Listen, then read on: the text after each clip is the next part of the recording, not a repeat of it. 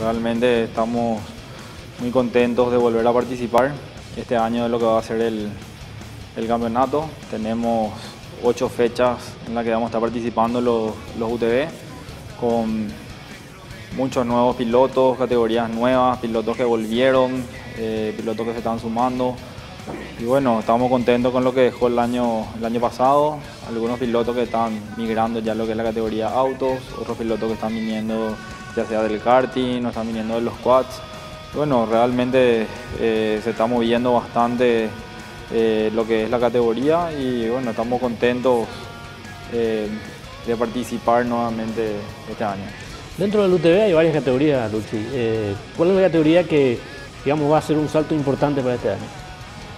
Bueno, tenemos dos categorías principales, que son la, la categoría Sport UTV, donde entran todos los de 1000 centímetros cúbicos, que es la categoría con más pilotos.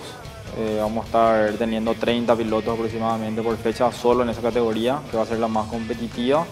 Y tenemos la categoría Fuerza Libre, que es la categoría donde entran los, los UTV Turbo, que son los lo nuevos para, prácticamente para este año, donde ya se suma eh, también la otra marca.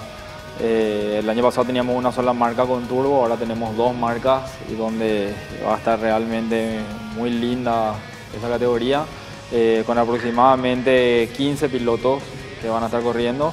Bueno, tenemos una modificación en la categoría amateur, que ahora se llama promocional, que es una categoría que va a estar habilitada para que los nuevos eh, dueños de UTV puedan probar sus UTV en nuestras fechas y decidirse si es que van a, convertirse en pilotos eh, y obviamente cumplir con todos los requerimientos para poder pasar a la categoría Sport.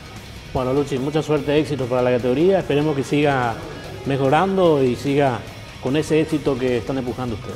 Muchas gracias, Lucho, por el apoyo de siempre. Y bueno, les invitamos a todos a nuestras fechas que vamos a tener en el verano en San Bernardino, 14 de febrero 1, el 21 de febrero vamos a estar también en Candegril.